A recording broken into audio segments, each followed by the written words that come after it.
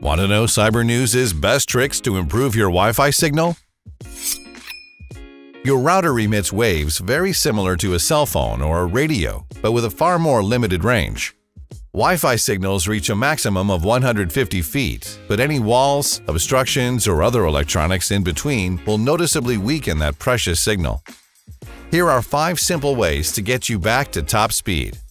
Don't forget to like and subscribe before we get down to business. Tip number 1. Reposition your router into a central location. We know routers are ugly, but hiding them in closets or cabinets only blocks and slows their signal. Tip number 2. Move your router off the ground.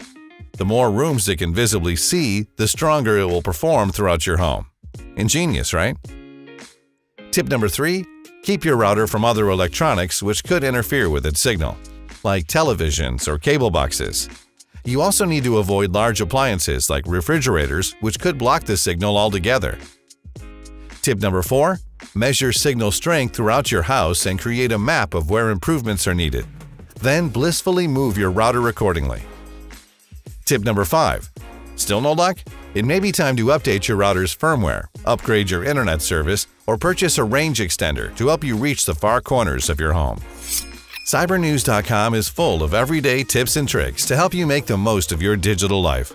That's why it's a great idea to subscribe to our channel. Let us know your own Wi Fi boosting tips in the comments below. See you next time.